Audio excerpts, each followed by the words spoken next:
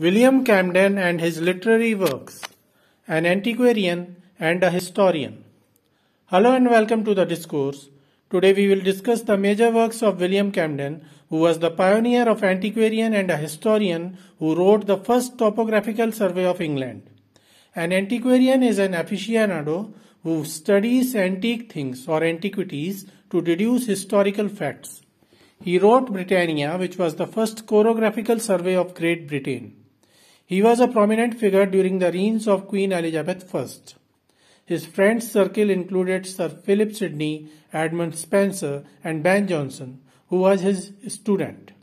Ben Jonson dedicated his play Every Man in His Humour to William Camden. Britannia. William Camden was born in 1551 and he died in 1623. He is known for his three major works, two of which were written in Latin and one was written in English. His first work of importance was Britannia. It was published in 1586 in Latin language. He began preparing for Britannia in 1557. It was the record of a well organized topographical survey of Great Britain and Ireland. He mentioned his intention with this book as to restore antiquity to Britain and Britain to his antiquity. In 1607, he published the sixth edition of Britannia, in which he included detailed maps of all counties of England. Britannia is a county by county description of whole Britain and Ireland, which relates the history of England with its landscape, geography, and antiquarianism. Camden tried to describe the then England in more scientific terms and how the antiquities of the past found in various parts of Britain describe the past history of Britain. In this way, he was able to depict the very first reasonable picture of ancient Roman Britain.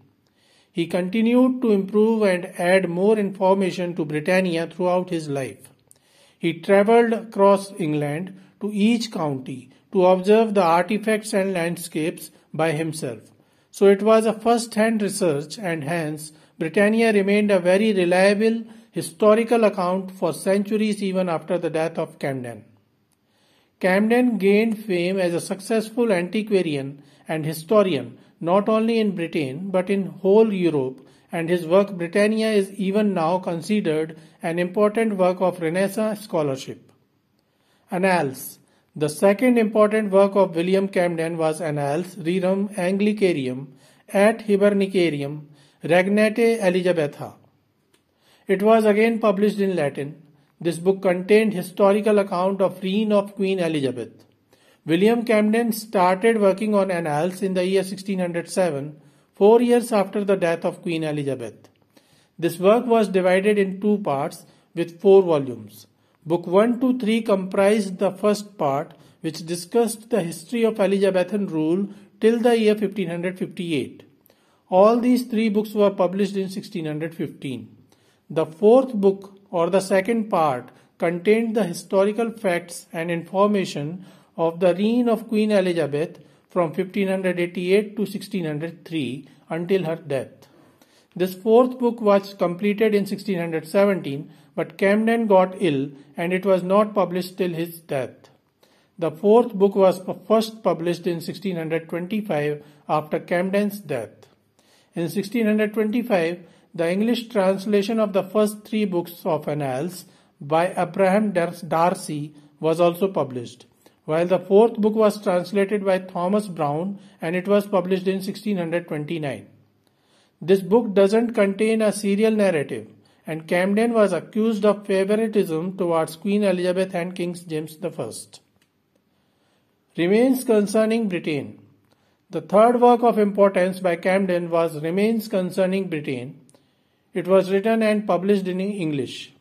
It is a collection of historical essays and it is considered as, as a helping guide for Britannia.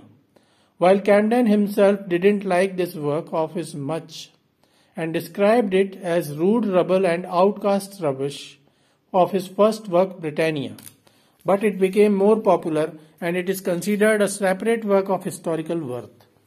Remains concerning Britain was first published in 1605 and it was again published twice during the lifetime of Camden in 1614 and 1623.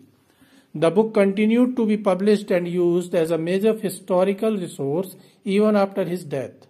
The last edition was published in 1870. So this is all about William Camden. Students should keep his three major works in mind as questions based on those works have been asked in SET exams of previous years. Though nothing about Camden have been asked in NET English exams till now. We will continue to discuss the history of English literature. Please stay connected with the discourse. Thanks and regards.